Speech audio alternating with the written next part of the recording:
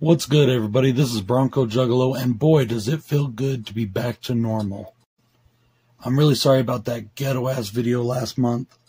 Let's hope we don't have to do that again.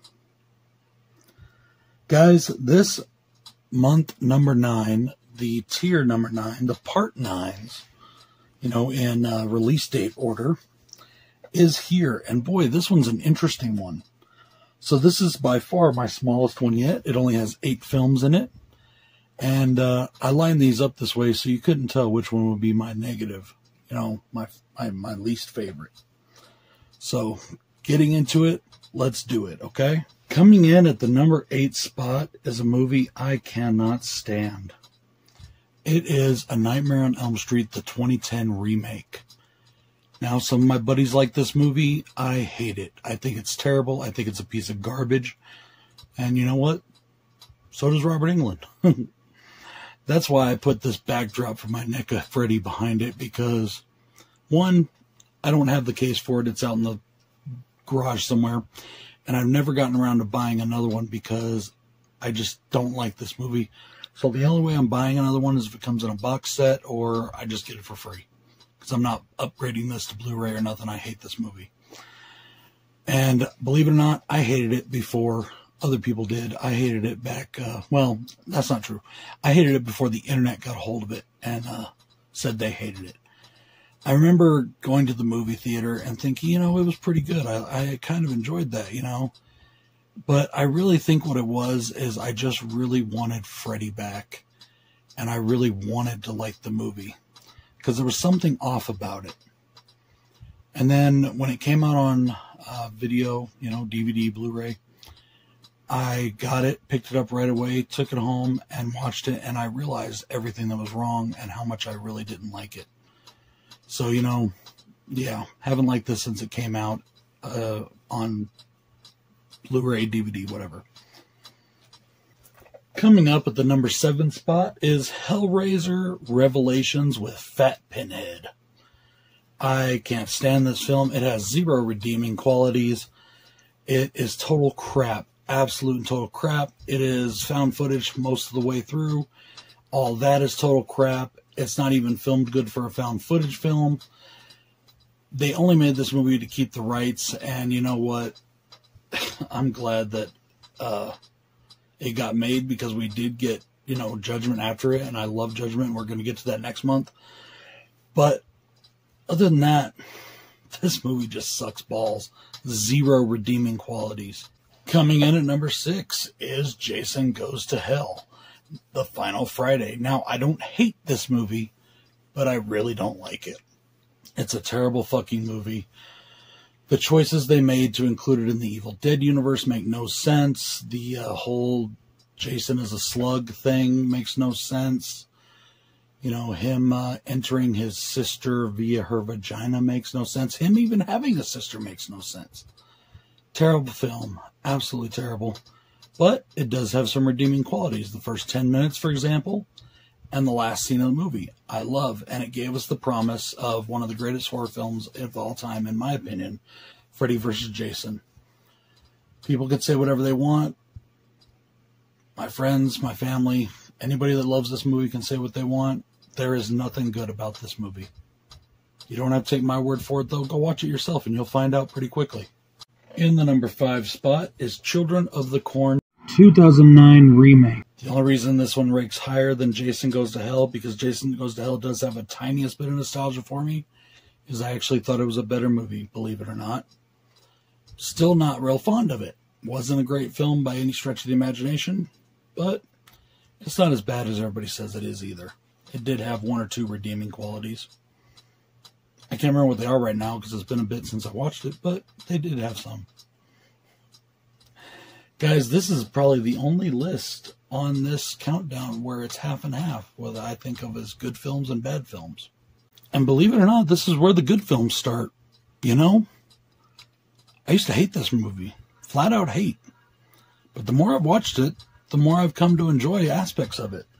I still can't stand the uh, entire, you know, first part all the way leading up to Michael's escape. I think that's all absolutely unnecessary and total crap and it really makes the great mystique behind Michael Myers into the fact that he was just a whiny pussy mama's boy. Yeah, didn't like that. They basically turned him into Jason.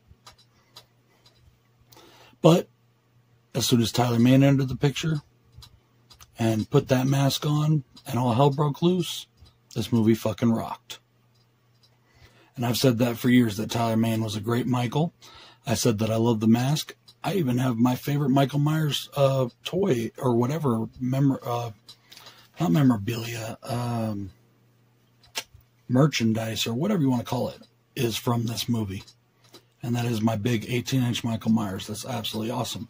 And Rob Zombie does a good job with the music, and he does a good job on the Halloween theme. His version of the Halloween theme is pretty dope. So, yeah, believe it or not, I've actually come to respect this movie. Now, the one following this, we'll get into that next month. But let's just say that's another story for a different day. Coming up in the number three spot, we have Spiral. Now, this is actually a better film, probably, than my number two and maybe even my number one. But I just had more enjoyment with those. This one I really did love, though. I thought that this was an amazing uh, movie. It was a spin off of Saw that they've now come to call Saw 9. So I guess it is the official ninth entry in the franchise, even though Jigsaw's not in it or nobody like, you know, that the Billy puppet isn't in it, all the things. This is basically a copycat killer copying Jigsaw, and uh, he targets this cop.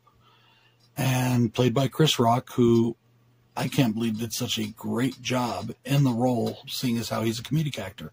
He was amazing. I wish they would have continued on with the spiral stuff. Uh, they went to do Saw 10, however, and we'll talk about that one next month as well. But I think Sp- I think Spiral is an amazing film. It was thoroughly enjoyable, high rewatchability, and just a blast all around. But it's still a very serious film.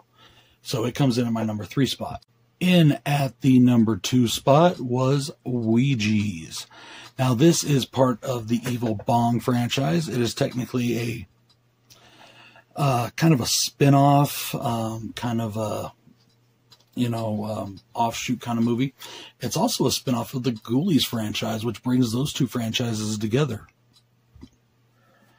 So now we have connecting, you know, in the Full Moon universe, we have connecting and now not just by costumes or Easter eggs, but we have connecting Weedjies, uh, which connects Ghoulies and Evil Bong, and then we have Gingerdead Man versus Evil Bong, and of course 420 and a few others that Gingerdead Man's actually in in the Evil Bong franchise, which bridges yet another franchise. So we have those three franchises linked. This movie is an absolute blast. I had so much fun watching it with Jay back when we did the reviews and all for these, or the ranking for these. Just an absolute fucking blast. So much fun. It came in the awesome Weedjies box set, which I love. And uh, yeah, this is just a terrifically fun, silly, and hilarious film. As you well know, the other part of my channel is now comics. I really decided to bring the comics in because I've been just absolutely enjoying that. And it was always my dream to own a comic shop. But I don't have this movie on Blu-ray or DVD or anything because it's never been released by Netflix. And I think it's so funny that all my tops in this week have, even though I love a lot of them, have been towards the bottom of my lists in other weeks. It's all vice versa and uh, flips topsy turvy and all that this week. So since I don't have this movie, and yes, I will put in a picture of it, I decided to use this to represent it. My number one for this month is the Netflix Texas Chainsaw Massacre film. I just fucking fell in love with this movie. It's so much fun. It's so good. It's still not my favorite in the franchise, but it's just such a blast. Um, they did an amazing job. The gore is awesome. The uh, thumbing their nose at a certain, let's just, oh, let's just fucking say it. Thumbing the nose at all the woke fucking asshole, dumbass bitch piece of shit pussies. Yeah. goes a long way with me. You can take all your bullshit and fucking shove it up your ass. For those that don't know, this is actually signed by Andrew Bryniarski, who played Leatherface in the remake.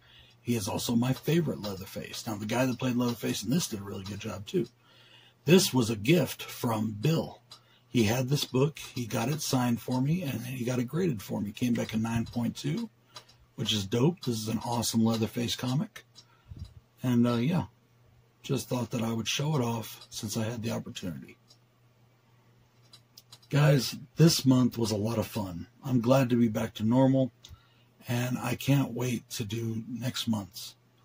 This is Bronco Juggalo saying I'm still trying to be quiet because, as usual, my kids are next door in the other room because I film these ones in my office and uh, they're asleep. And I got to get up super early in the morning and drive to Colorado. Much love to y'all. Have a happy October. We all know what next month is. Much love. Peace in the Middle East.